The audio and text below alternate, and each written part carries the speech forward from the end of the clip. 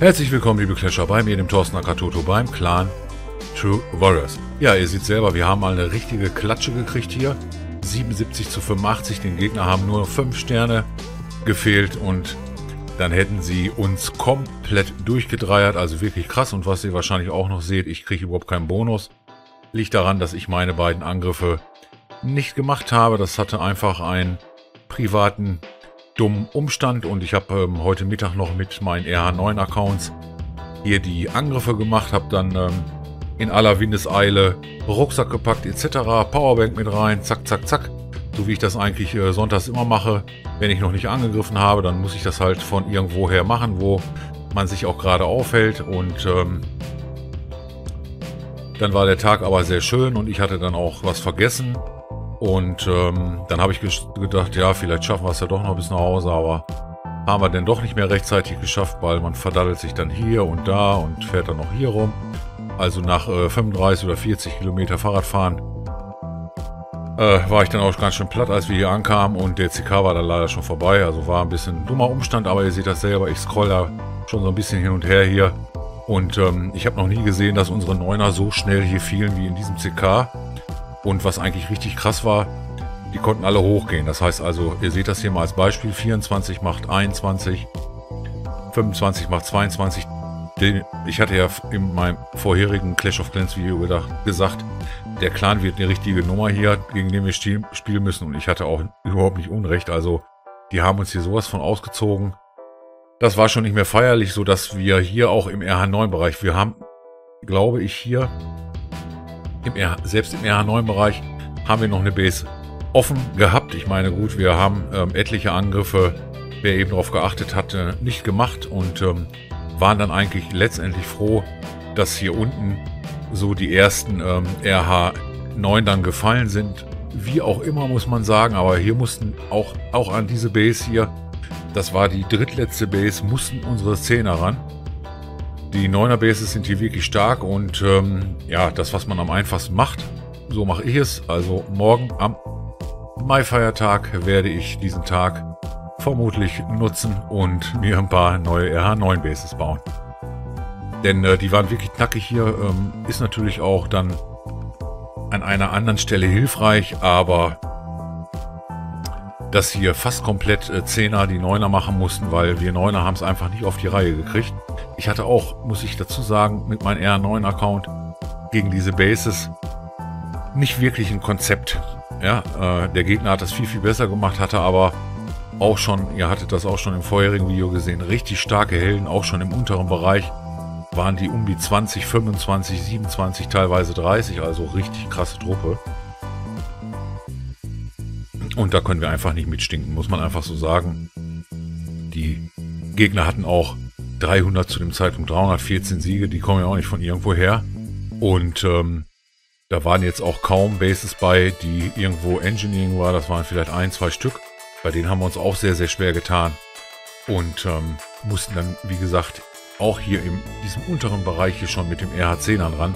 Das ist ganz, ganz unüblich, dass das so sein musste. Ähm, ja, aber eigentlich mal 9 auf 9.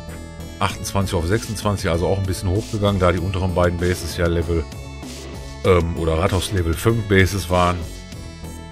Und dann hat der natürlich der ein oder andere Neuner hier doch was gemacht und auch was geschafft, aber wirklich, wirklich gute Bases hier vom Gegner, muss ich mal so sagen. Und ähm, ja, die Angriffe waren auch alle sehr gut. Ähm, da kam dann auch gleich wieder auf die Cheaten und so weiter, aber da, da war auch nichts mit Cheaten, weil so schnell wie die angegriffen haben, die haben binnen, ich sag mal, der ersten zwei oder drei Stunden haben die unsere Neuner hier komplett zerpflückt, also wirklich komplett. Haben schon die ersten Zehner hier im Sack gehabt. Äh, da kannst du auch mit Xmod so schnell kannst du gar nicht, ah, kannst du die Bases gar nicht nachbauen. Ähm, gut, das ginge vielleicht noch, aber da, da war nichts geübt. Wenn man sich die Leute anguckt, ähm, mal im Einzelnen, dann wird man sehr schnell feststellen, dass das ähm, alles Spieler waren, die echt in hohen Ligen spielen. Also die Elva da ausschließlich, sage ich mal, fast ausschließlich Legende und wenn du so lange spielst, dann weißt du, wie du anzugreifen hast und ähm, dann ähm, schaffst du auch drei Sterne auf ähm, RH11 und die haben ja etliche RH11 bei uns, oder was heißt etliche, also sehr, sehr viele bei uns gedrei Stern und hatten dann, waren auch sehr komfortabel aufgestellt. Das heißt also, bei denen hat der ähm, Sechste, glaube ich, unseren ersten oder unseren zweiten gemacht und dementsprechend hat der, der Erste hat irgendwann mal mich gemacht, ähm, weil er noch seine Angriffe offen hatte und nur noch, ich glaube, zwei Zehner-Bases offen waren. Ich hatte allerdings immerhin einen verteidigt, das war, war ja auch mal nicht schlecht. Ähm, ein RL verteidigt habe ich jetzt eben erst in den ganzen Wiederholungen gesehen. Und ähm, aber auch war so knapp. Der zweite, den konnte ich dann nicht widerstehen. Also das war ein ziemlich starker Angriff von dem ersten auf mich. Und ähm, dann ist der Sieg auch äh, sicherlich verdient, auch in der Höhe. Da konnten wir überhaupt nicht gegen angehen und ähm, das hat man uns auch ein bisschen angemerkt. Das ist dann auch, ist dann leider so, ja, ähm, dass du äh, irgendwann ja nicht nicht so nicht resignierst. Also wir haben schon sehr sehr früh zu unseren Leuten gesagt, auch zu den zu unseren unteren Leuten, zu den RH9ern, ähm, man soll den CK zum Üben nutzen. Ja, zum Üben gegen richtig schwere Bases, klar. Wenn da natürlich drei Sterne rauskommen, wie hier beim Krümel, umso besser. Aber ähm, er macht das hier mit einem guten äh, Golaloon. Dann ähm, ist das natürlich super. Der Feind hat, glaube ich, hier alle Neuner komplett mit Golaloons gelegt. Alle Neuner mit Golaloons. Also da war nicht ein Angriff bei, der anders war. Und die Zehner mussten ja erst recht nicht ran. Die Neuner konnten sich dann später schon unserer Zähne annehmen. Haben da dann schon mal ein, zwei Sterne geholt. Damit hat man Clanburg-Truppen gelockt. Ähm, hat dann, hat schon die ersten Sterne eingefahren, klar. Und ähm, so konnten sich die Elver schön auf unsere Zehner dann ähm, einschießen. Und ähm, die haben hier auch echt stark kompensiert schon. Also selbst äh, bei offenen Bases hier, wo hier noch keine Angriffe drauf waren, haben die ähm, Kollegen äh, von aus, von aus den Balearen kamen sie, glaube ich. Das ist ähm, in Weißrussland, glaube ich oder Belearen, muss ich gleich nochmal nachgucken, ähm, haben die ähm, relativ schnell kompensiert. Das heißt also als grobes Beispiel äh, nur zwei Sterne auf unsere 10. Dann wurde da sofort auf die 10 nachgezogen, um erstmal die 10 zu 3 Sternen. Also das war wirklich schon krass. Und wenn du so stark bist, dann kannst du dir das auch erlauben. Muss man fairerweise einfach dazu sagen. Aber hier sehen wir es wieder. Hier mussten echt unsere Zehner auf die 9er Bases. Auch coole Clanburg-Truppen. Kann man auch ja, denkt man ja immer mal wieder darüber nach, dass man vielleicht andere Clanburg-Truppen mit zur Verteidigung reinnimmt. Aber ähm, man hat auch irgendwo so ein bisschen seine, seine Truppen und mal geht's gut, dann verteidigt die CB auch gut, aber das kann auch mal richtig in die Hose gehen, wo du ähm, irgendwas da drin hast. Oh, die Tesla-Farm ist ja auch krass, meine Herren. Ich glaube, an der bin ich auch gescheitert einmal. Ah nee, das war eine andere. Da war das aber sehr, sehr ähnlich.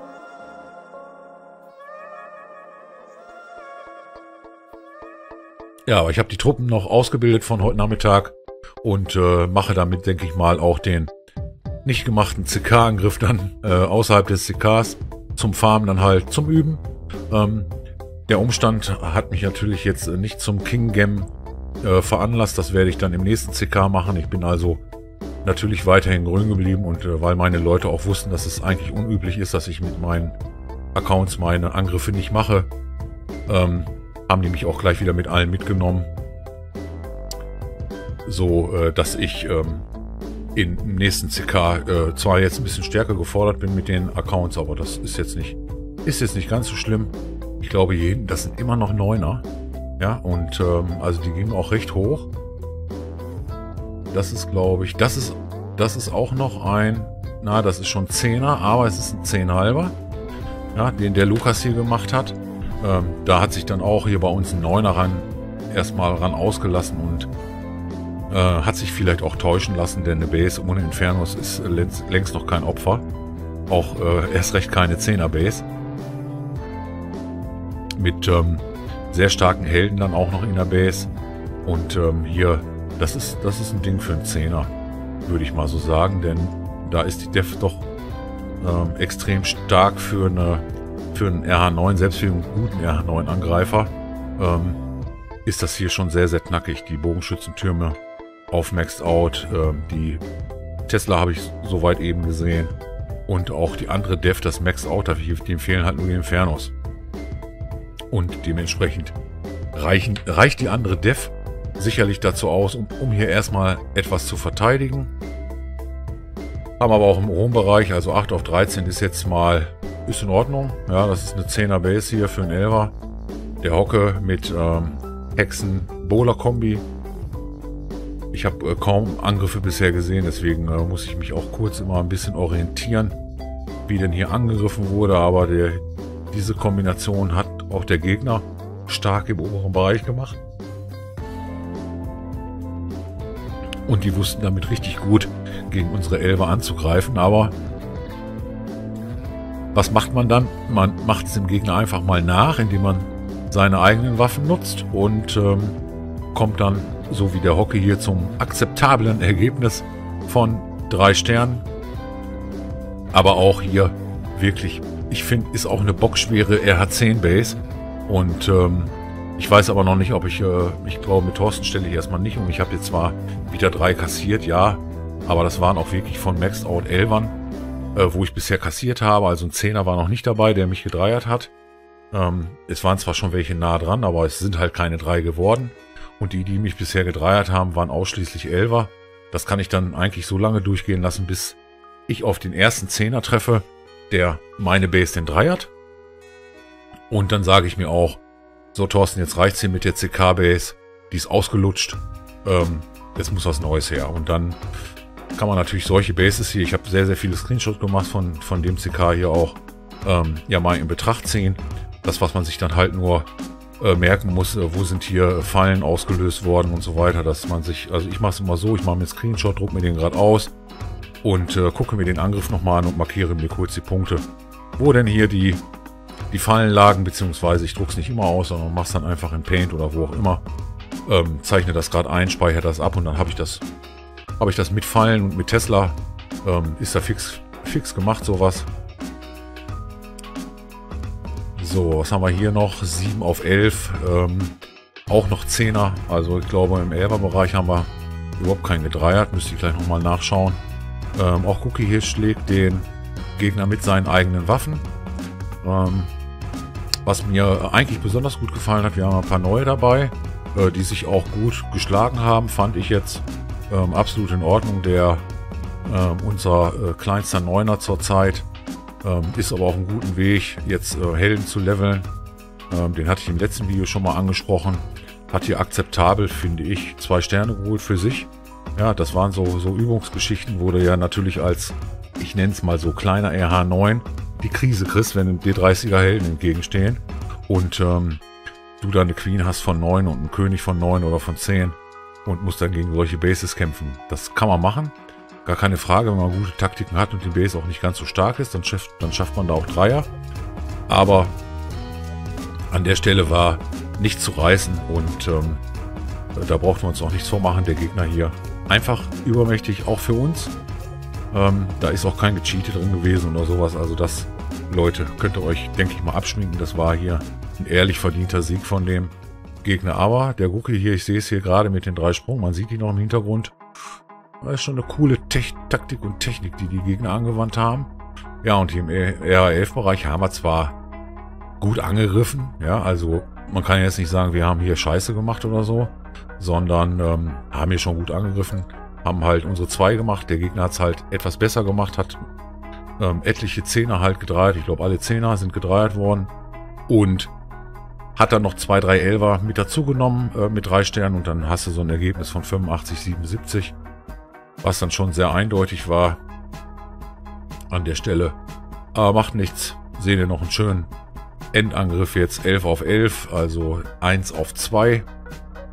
Unseren Max hier und ähm, nutzt hier Bola-Hexen Walküren. Also auch keine schlechte Kombi an der Stelle. So, ich muss mal eben etwas nachschauen. Ja, das sieht noch gut aus. Das sieht noch gut aus. Ich glaube, heute hat das Bild nicht einmal gezuckt. Ich muss mir das Video nachher nochmal angucken, bevor ich es denn äh, letztendlich rendere und hochschneide, äh, hochlade. Aber ähm, ich ähm, glaube, ich habe jetzt so ein bisschen die Einstellung dafür gefunden, dass das nicht mehr vorkommt oder weniger vorkommt. Manchmal sehe ich das auch nicht, weil ich dann auch nicht jetzt, äh, dieses Video geht ja schon relativ lange und ähm, ich gucke dann ähm, manchmal auch nicht mehr ganz, ganz genau hin, ob gerade was zuckt oder ob es irgendwo zwickelt. Aber schöner Angriff eigentlich hier auf die 2 äh, vom Max. Und ähm, jetzt müssen wir eigentlich mal gucken, woran hat es denn hier eigentlich gelegen, weil viel Dev ist nicht mehr da. Queen hat aber nicht mehr ganz so viel Heilung. Ah, kriegt aber, ja, aber von, von zwei Dingern dann nochmal Feuer kriegen. Ah, das war ganz schön viel. Es hat an der Zeit, ah, es hat, denke ich mal, an der Zeit gelegen. Denn äh, in den sechs Sekunden ist er hier nicht mehr weitergekommen. Und äh, Queen hätte sicherlich die restlichen Gebäude und die restliche Dev noch gemacht. Mit äh, 30 Sekunden mehr Zeit. Hätte, hätte Fahrradkette. Guter CK hier, gut vom Gegner. Hut ab, tolle Truppe. Kann man nicht anders sagen. Sind wir aber auch. Und ähm, ich hatte ja gesagt, ich mache dann wenigstens einen Angriff mit meiner ähm, CK-Armee, die ich mir einfach mal gebaut habe. Ähm, das ist so ein bisschen... Ich habe einen Golem dabei. Ich glaube, ich habe auch noch einen zweiten Golem in meiner Clanburg. Und ähm, mache hier, denke ich mal, einen Golaloon auf eine RH10-Base. Auch wenn der Murks wird. Äh, muss ich auch mal sehen, dass ich hier wenigstens einen Inferno kriege und einen und eine Luftabwehr, vielleicht sogar zwei. Da muss man mal sehen. Ich habe ja keinen King, also so ein King, der kann auch mal den Unterschied machen. Der kann auch mal richtig für Wirbel in der Base sorgen. Und ähm, ja, dann können wir so einen machen hier. Ah, wir machen einfach so einen hier. So einen mache ich. Äh, der hat für mich ganz angenehme Ressourcen. Ich äh, brauche ein bisschen von, von jedem. Und ich brauche auch die Sterne für das äh, Event der vielen, vielen ähm, Sterne, die man kriegt. Oh, okay. Äh, von wo können wir hier reingehen? Wo ist denn hier eigentlich eine Queen? Ah, da hinten ist eine Queen. Dann könnten wir hier eigentlich springen, springen, springen. Ja, das machen wir auch. Das machen wir auch. Wir gehen hier rein. Nahenlos. Und müssen jetzt als erstes hier mal die, die Queen, denke ich mal, wegmachen. Ähm, jetzt habe ich schon wieder so eine ganze Armada Mauerbrecher hier mit. Mal gucken, wie weit die denn hier so durchflutschen. Die gehen schon ganz gut rein hier. Dann kann ich hier sicherlich äh, meinen Sprung setzen. Ah, das ist ein Multi-Inferno. Das äh, geht für mich gerade noch so. Das ist in Ordnung. Mal sehen, ob ich äh, den hier jetzt mal friese. Ja, den machen wir einfach mal zu. Dann kann die Queen hier jetzt noch ein bisschen weitergehen. Und ich würde sagen, äh, wir kommen von dieser Seite hier mit unseren Loons hier rein. Schicken hier zwei Hunde rein. Ah, oh, ich habe vergessen, meine Queen zu zünden. Oh, ja, ja, ja, ja. Oh, oh, oh, okay. Dann haben wir jetzt noch so ein bisschen was hier im Petto, die können wir hier schon mal reinschicken. Auch mit Eilung. Und ähm, jetzt muss ich mal sehen, wo die denn alle so hinfliegen. Ja. Ah, die müssen da hinten noch zur La. Okay. Dann äh, mache ich hier schon mal so ein bisschen weiter. Aber jetzt die Hunde tanken an der La. Ja, das war jetzt nicht so eine tolle Base, aber ich bin ja auch leicht geschwächt dadurch, dass ich keinen König habe. Und ähm, nehme den Lothar hier gerne mit. Und ich hoffe, das werden hier drei Sterne. Denn äh, eine Minute 23 und fast nur noch Loons. Ah, okay, so ein paar Puppies habe ich auch noch. Jetzt ist mir der letzte aber nicht aufgesprungen da. Natürlich schade, ist auch eine tote Base hier. Naja, mal gucken, ob ich hier alles kriege. Wäre natürlich nett. Denn so ein bisschen ähm, an Farmlot muss ich ja auch immer wieder mal mitnehmen, auch an dunklem. Denn äh, ich farm, äh, ich farme. Ich plane unter Umständen eine dunkle Truppe zu machen im Labor als nächste Forschung. Ich glaube, jetzt läuft das Labor noch fünf Tage oder so. Ähm, 100.000 brauche ich dafür. Das ist natürlich eigentlich ist easy. Und äh, mal sehen, was ich dort mache. Also ich habe irgendwas Dunkles im Sinn. Dunkle Truppe oder dunkle Zauber. Muss ich mal sehen. Für eine Elex-Truppe, ähm, das schaffe ich glaube ich in den fünf Tagen nicht. Ich äh, spiele noch CK mit. Farm im Moment recht äh, hoch mit teuren Truppen, weil ich diesen 4-Sterne-Bonus ganz gerne mitnehmen möchte. Und ähm, haben wir hier jetzt noch was? Ne, da hinten ist alles kaputt. Und die beiden jetzt auch. Ja, super drei Sterne. Dann brauche ich gleich nur noch zwei. Und habe das zweite Mal das Event gemacht. Und äh, der Bonus, ich bin ja ein bisschen höher jetzt. Ich bin jetzt schon Kristall 1. Ist auch ein bisschen höher. Da brauchen wir noch zwei Sterne hier. Da kriegen wir, ja, da kriegen wir ganz ordentlich was rein. Das reicht für mich vollkommen. Und ähm, nächster CK, voll auf Augenhöhe, 12 auf 12 gegen die Iran Wolfes. Und ähm, unten haben wir einen kleinen Nachteil, haben wir einen Achter. Wir haben zwei Achter mit, ja. Man glaubt es kaum, wir haben zwei Achter mit. Wir haben drüben ein Achter. Der Rest ist durchwachsen, ist äh, ganz, ist auf guter Höhe. Sehe ich ähm, für uns äh, kleinere Vorteile, was Heldenkombis angeht. Und ähm, aber das ist auch erstmal äh, gewesen. Tiefer habe ich hier noch nicht reingeschnuppert und mal sehen, was das wird. Wenn euch diese lange Folge gefallen hat, Daumen nach oben am Ende nicht vergessen. Und ich würde sagen, einen schönen 1. Mai auch gewünscht. Ähm, den wünsche ich mir auch, indem ich nämlich wahrscheinlich neue Bases baue, weil so ein schlechtes Wetter wird. Und dann sehen wir uns ganz sicher hier bei den True Warriors in einer neuen Folge, wenn der Toto wieder lässt.